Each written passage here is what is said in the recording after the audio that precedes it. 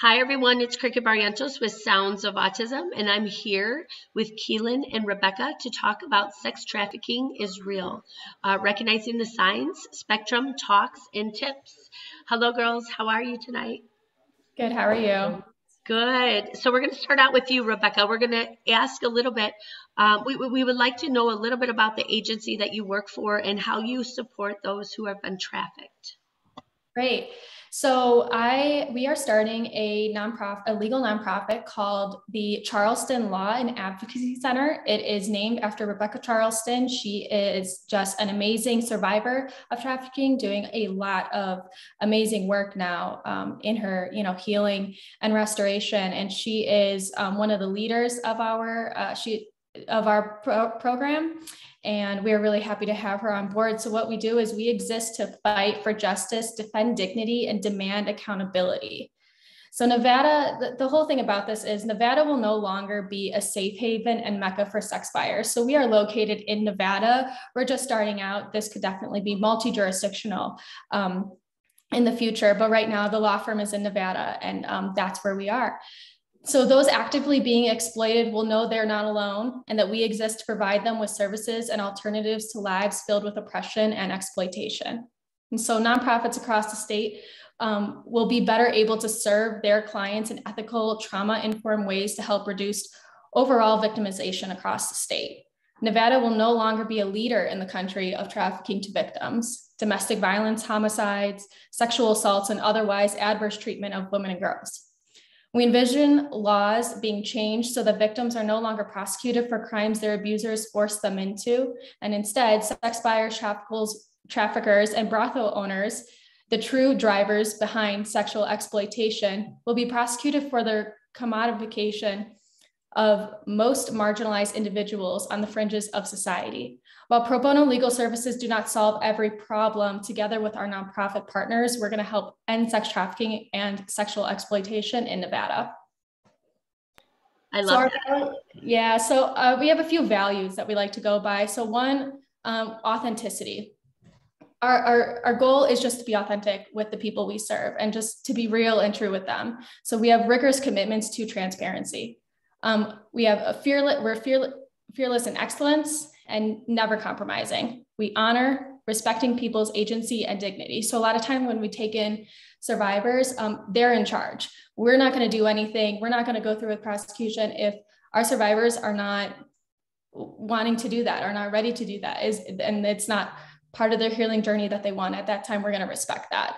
Um, also, we offer a lot of humility and teachability in how we serve. We want to be trauma informed attorneys.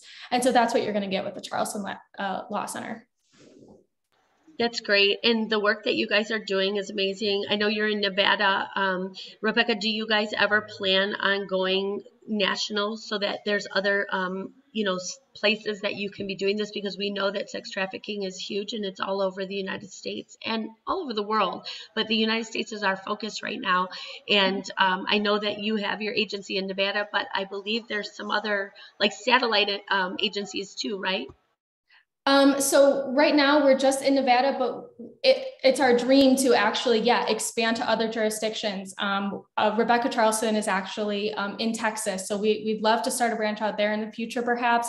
Um, I mean, we're just getting off the ground. We launch in uh, officially in January. We're doing the work right now, but we officially get to put it under our nonprofit umbrella in January. So yeah, we want to be multi-jurisdictional in the future um, as we see this grow, and we want to be. Um, this is we want to be like kind of like the shell of like we want other agencies to do what we're doing across the nation. We want to be able to be that like that bridge. It's like let's look at what charleston law center is doing. We want that here. And we want to be able to help other agencies across the nation and even across the world do what we're doing with our model. We want to have we want our mo- we want to see our model um, as it works extended uh, to multiple jurisdictions that's awesome. Thank you so much. And then Keelan, I know you and Rebecca have had, um, you kind of grew up in your college world, right? The the life of college, and then you guys both. Um, am I correct on it? I, I want to make sure that I'm right on on the relationship between you and Rebecca. High school. High school. High school. Okay. Yeah. So you guys were in high school together and you knew each other. What, what I love about this is, is um, you're very similar with with the way we do our, our organization, our agency. We have grown over the last 11 years. We've gone slow and methodical, and we've really tried to find the best solutions um, to support the autism population. And when I met with both of you, I explained to you that I had a concern because the autism population has a delay in processing. And so a lot of times they are a great group to be lured into these bad situations online gaming, uh, being out in the community, being a part of the community. And our our goal is to integrate them back into society, but you can't do that if you don't have a safe platform. So, with what Rebecca's agency is doing and, and bringing the awareness and all the different groups that we work with, you know, it's super important. But what you do, Keelan, is you actually work with people uh, on the educational component to bring awareness to this so that we keep people safe. So, I would like you to speak on that a little bit if you don't mind. Yeah. So actually, Rebecca and I started a blog probably about um, three years ago. So it's called See the Revival. So it stands for Sexual Exploitation Education. The revival, because the revival we want to see is sexual exploitation to be extinct and gone forever. Um, so we started it just to educate people within our Chicagoland area at the time because a lot of the times when people think about human trafficking, sex trafficking, like work slaves, they think, oh, a third world problem. That doesn't happen here. When truly it happens right under our noses. And it's way more common, um, sad to say, within the US and big cities within the US as well than like what people would ever think. So we started our blog um, just as a very broad umbrella to cover all sexual exploitation cases, but we focus a lot on um, pornography, how to be safe online, how to um, have certain blockers on your computers as parents so that kids and creepers can't come on there and contact your student or your kids. Um, I'm a teacher, so we've come up with a curriculum that schools can use, and teachers can use to implement and um, teach this appropriately within the classroom. And then also a curriculum that teachers can use to educate parents and have parents even come in and hear about this because a lot of parents don't know. They don't even really know how to use the technology their kids are talking about. They don't know what it um, what it requires and like that they're able to chat with anyone online truly just with a couple clicks of their buttons. So that's our overall goal is to kind of take that initial first step from even happening to protect the kids at homes on their computers before they're even pushed out into um, the world where creepers and um, uh, predators can even come and have the opportunity to contact them. But then we also do talk about issues um, like legalizing prostitution, what that does, and how that increases the sex trafficking rates um, within that area. We talk about issues that are going on around the world with any type of sexual exploitation. Um, we're going to start talking about the um, sex education that is being implemented within schools and actually how that is going to have a negative effect on um, the child's sexual desires and um, what is appropriate and what is not for them to hear at certain ages and how to combat that um, and what parents should be aware of and that they should know what's within their curriculum. So truly it is a strictly educational um, platform. Like that is our main push and our main focus now, you ladies have both worked with people that have been sex trafficked. And if I could ask you, you know, what is one thing that you feel is the main, you know, like negative cause for this to happen? I think we talked about this the last time where you guys were like, you need to know what your child's doing on their phone.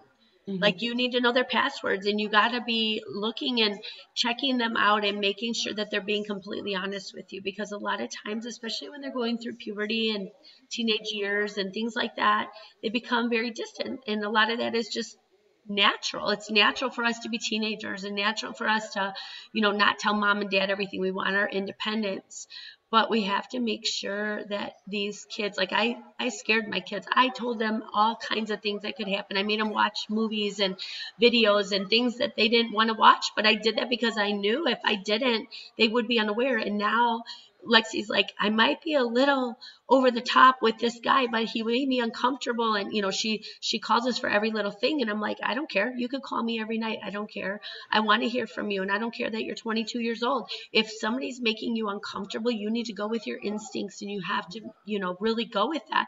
And a lot of times, as I said, with the autism population, because they have a delay in processing, their instincts don't kick in until it's too late.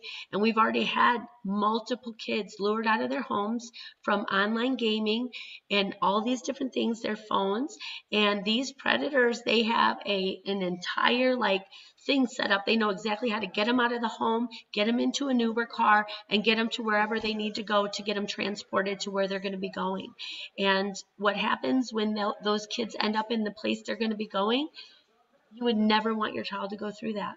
And that's what we're trying to bring awareness to. So, knowing all of those things, is there anything that you would like to give as a tip uh, to the parents just to make sure that they continue to keep their child safe?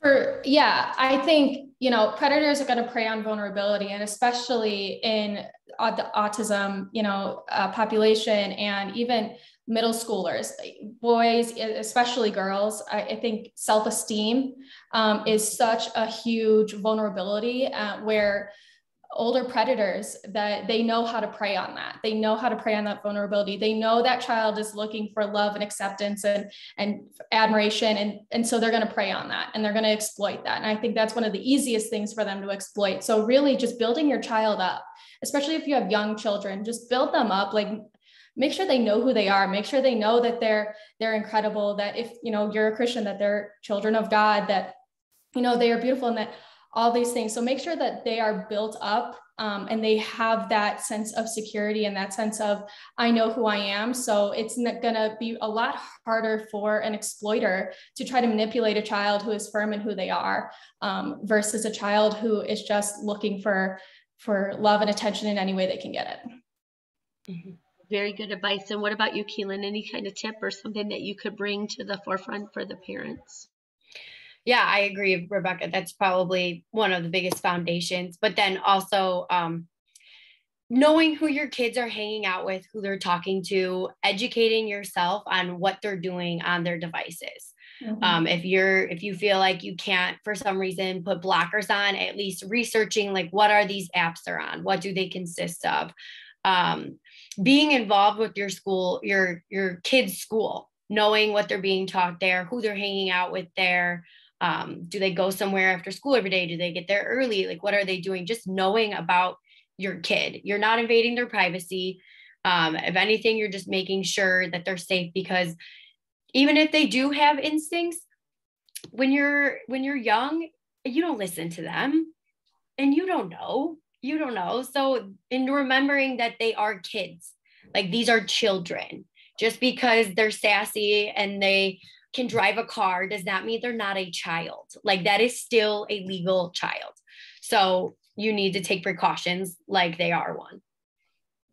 I love it. Thank you, ladies. I appreciate your time today, and we will be continuing in December, and we'll be talking a little bit more, little bit more about the foundation of your agency, uh, Rebecca, and where this is going to go. Um, we are working with Project. Um, uh, search out here as well in Arizona uh, to help bring awareness. And um, we have um, Shauna on here once in a while talking about that. Um, and then anti-predatorial um, Trent. He's been very busy, a lot of caseload. Um, but I reached out to him the other day and we talked, and he said that um, he's definitely willing to jump on as soon as he can and um, wants to share with us some of the things that he's seeing as a commonality of kids being sex trafficked. He's working over the borders. He's working in these tunnels. He's working with cartels. He's working with a lot of different people, and um, he said that it's just really bad out there. So thank you, ladies, for what you do. Continue on your mission. I think you're doing a really good job, and we'll see you in December. Thank you so much. Thank you. Bye. Bye.